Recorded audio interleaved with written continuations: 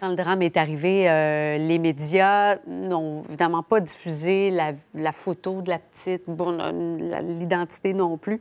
C'est important de rappeler qu'il y a un interdit de publication. Hein. Ça, s'applique aux médias sociaux aussi. Euh... c'est pas juste aux gens dans la salle de cours là, quand le juge donne une ordonnance. Là. Ça s'applique à l'ensemble des intervenants. Tu peux pas, ne, tu peux pas briser cette ordonnance-là en publiant ou en tentant de publier des choses pour essayer d'amener une certaine nouvelle, euh, bon, de professionnel ou non. L'ordonnance est large. Le juge l'a bien dit, le DPCP l'a dit, et je m'attends à ce qu'il soit sévère, les gens, parce qu'il faut protéger ces gens-là également. Puis c'est une enquête qui est publique, donc il ne faut pas compromettre cette enquête-là en identifiant des éléments à gauche et à droite. L'ordonnance est claire, elle est là, il faut la respecter, et sinon, bien, il y a des conséquences qui sont graves. C'est une outrage au tribunal.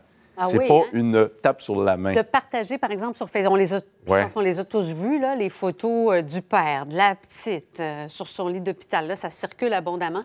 On peut... C'est un outrage au tribunal? Oui, on est ramené devant le juge et là, on est accusé. Et là, il faut s'expliquer et le juge peut être sévère. Il peut prendre une décision qui ne sera pas plaisante pour la personne, qui peut-être de façon anodine. Là, tout le monde a publié qu'il y a une interdiction de publication il faut le respecter. Alors ça, je m'attends à ce que les juges soient très sévères, parce que c'est des ordonnances des tribunaux.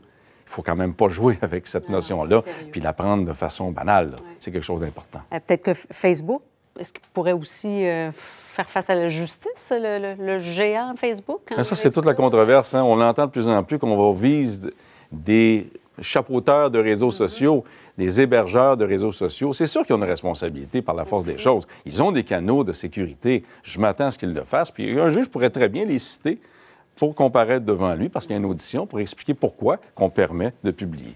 Mais ça, c'est à suivre. Maître Conrad Laure, criminaliste, merci beaucoup d'être venu nous en parler ce matin. Merci. Bonne, journée à vous. Merci.